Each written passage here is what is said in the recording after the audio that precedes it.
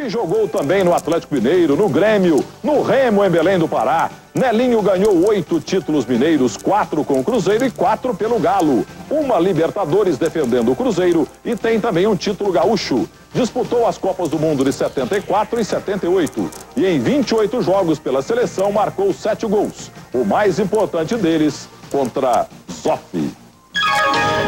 Maracanã, depois da dividida, Perfumo, grande Perfumo, fica com a sobra, ganha de Roberto e toca para Eduardo, que ajeita para Nelinho, soltar a bomba contra o goleiro Andrada. Indefensável para o argentino. No final, Vasco venceu por 2 a 1 e foi o campeão brasileiro de 74. Mas o Cruzeiro reclama até hoje. Aquela final tinha que ter sido no Mineirão, viu, Heleno Nunes? Vasco da Gama do Ademir, 2, Cruzeiro 1. Um.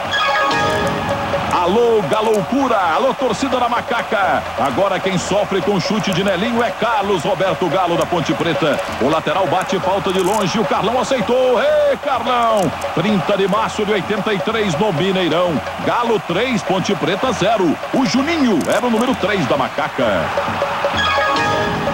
O maior clássico de Minas, Nelinho contra o time que o consagrou, o Cruzeiro. O Zenon estava perto, Nelinho bate com categoria e vence o Wellington. Você viu que o Elzo saiu da falsa barreira. Primeiro de setembro de 85 no Magalhães Pinto. Galo 3, Cruzeiro 1. Brasil e Uruguai em Montevideo 76. Você vê o novato Zico sofrendo falta. Para a cobrança, Nelinho. Ao lado dele, Marinho Chagas. Quem cobra é o lateral do Cruzeiro. Reparem que o Nelinho enganava até o cameraman. 25 de fevereiro de 76 em Montevideo. Uruguai 1, Brasil 2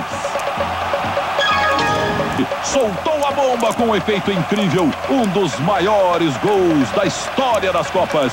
Dia 21 de. Olha, no Gol Grande Momento agora, a foto da história. Amigo, lembra do Rinaldo, ponta esquerda, Rinaldo Luiz de Burim, veio do Náutico para o Palmeiras no começo dos anos 60?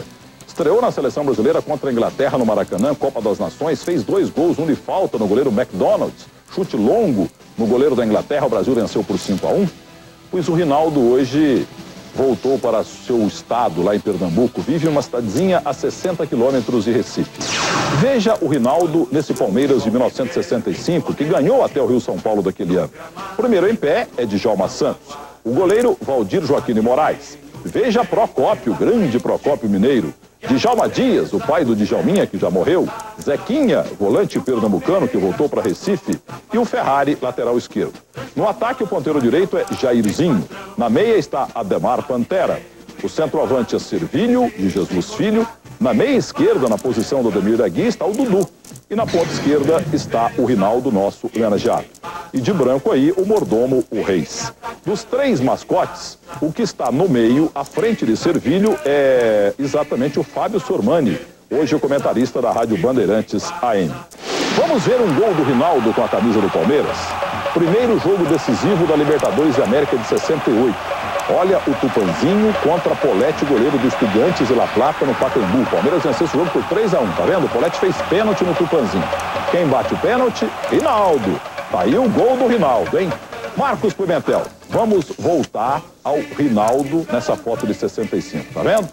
Veja como ele era e veja como ele está. Tá aí o Rinaldo. E veja agora ele numa roupa branca, com a roupa branca aí, sabe por quê? Porque lá na cidade dele, no interior de Pernambuco, ele é operador de raio-x do hospital da cidade.